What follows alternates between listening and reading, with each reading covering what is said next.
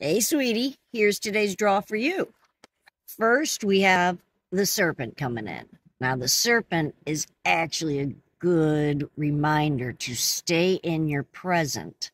Use all of your senses, just like the snake does, to keep focused on your present and keep moving forward.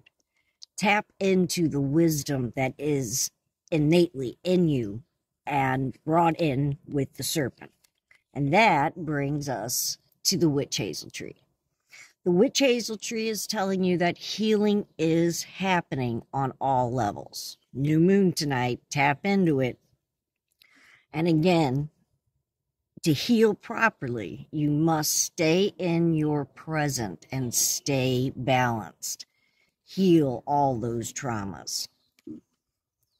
And then we have the noisy seabird. Again, Use your intuition today to see past the distractions and the confusion. A lot of confusion in the collective, so it's in our personal lives. So tap in, quiet your monkey brain to hear the truth. Appreciate the wise words of the Who. I'll tip my hat to the new Constitution, take a bow for the new revolution, smile and grin at the change all around, pick up my guitar and play just like yesterday. Then I'll get on my knees and pray we don't get fooled again. Are you seeing truths coming out in the collective across the world that seem a little mind blowing? It's just that time it is the age of Aquarius, so things are changing, truths are coming out.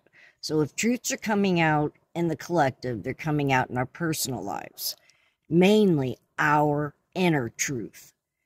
Sit today in your present and remember why you what I'm sorry, what you wanted to be when you were a child before you were told what you would become.